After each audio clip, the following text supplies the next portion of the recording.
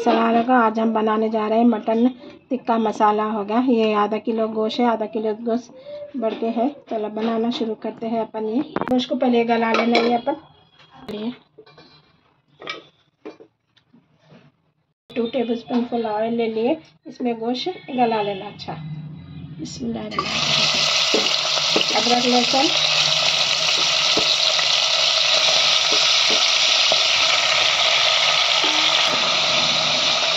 Table spoon अदरक लहसुन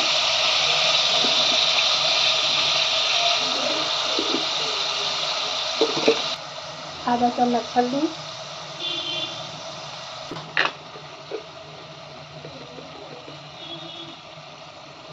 नमक डाल के, इसको पानी डाल के गला लेना अच्छा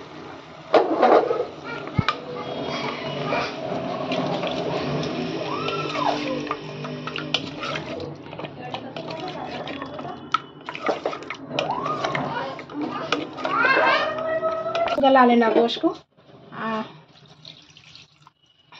डाल के गोश्त को गला लिए बाद में फिर आपको दूसरा स्टेप बता दूसरा स्टेप है ये मटन टिक्का मसाले का। अपन और four table spoon full oil लेके प्याज को ब्राउन करके निकाल लेना। ये। अब four table spoon full oil ले लिया अपन। ये टू मीडियम साइज़ प्याज है। प्याज को ब्राउन करके निकाल लेना। ब्राउन करे बाद फिर टमाटर ले लेना। गोश्त के हिसाब से ले लेना। अगर आपका गोश्त आधा किलो है तो दो लेना। अगर आधा किलो से बढ़ के है तो तीन लेना। एक किलो है तो चार टमाटर ले लेना। ये लहसुन है, चार पाँच कर लिया।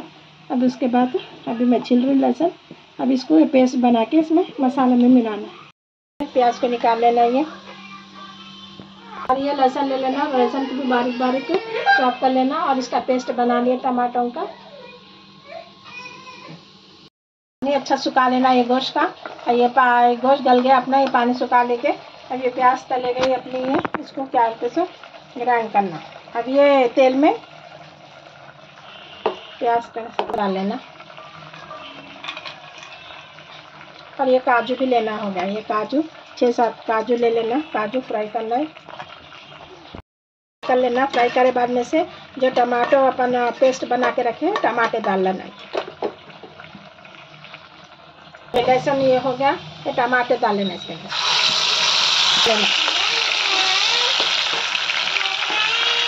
कलर भुने बाद में से और मसाले आपको डालना मटन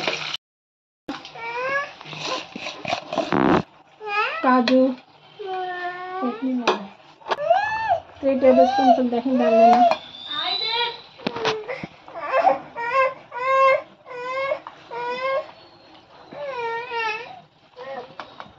डाल लेना। मिर्ची।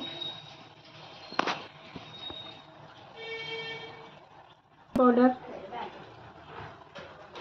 धनिया मसाला।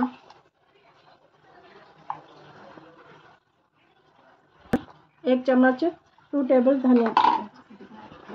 आधा चम्मच थोड़ा नमक, उसमें भी डालें अपन। इसमें देख के डाल लेना नमक। फिर बाद में फिर चख लेना नमक। अब इसमें कोतमीर डाल के ये पूरा पेस्ट बना लेना। इसको पूरा पेस्ट बना लेना। इसमें थोड़ी मिर्ची डाल के अच्छा भून लेना इसको।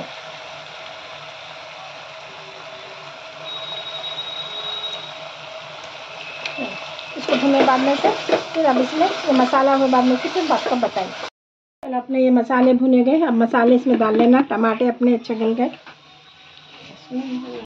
पेस्ट डाल लेना।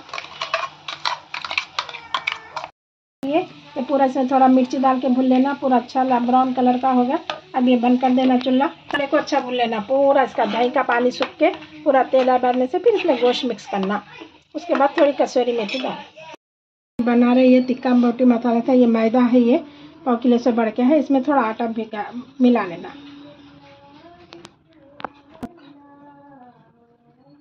मिला लेना, तेल, और क्या बोलते सो, अपने, थोड़ा बेकिंग पाउडर है तो मिला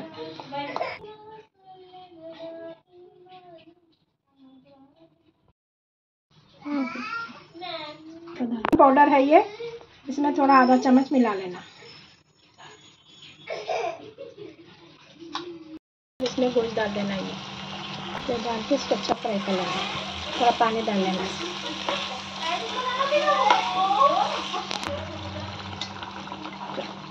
पाँच मिनट ऐसा रखे बाद में से फिर नमक चख लेके इसमें जो भी है कसूरी मेथी डालना। कसूरी मेथी डाल के थोड़ा नमक चख लेके कोतमीर पुदीना कोतमीर डालना, हरी मिर्च। इसको भून लेके डाल देना। इसको क्रश कर लेना कसूरी मेथी को। मैं पूरा अच्छा सूखा करना, सूखा दाल ढीला रखना, उसके बाद कोतमीर हरी मिर्ची डाल के, डिश आउट करके बताइए तेल आ रहा है इसमें। कोतमीर पुदीना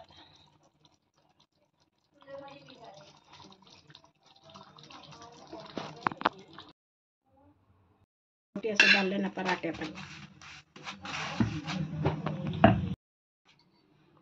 मटन टिक्का मसाला बन के तैयार है, ये पराठा बन के तैयार है ऐसा बनाइए, खाइए शेयर ज़्यादा करिए सब्सक्राइब ज़्यादा करिए, अल्लाह हाफिज़।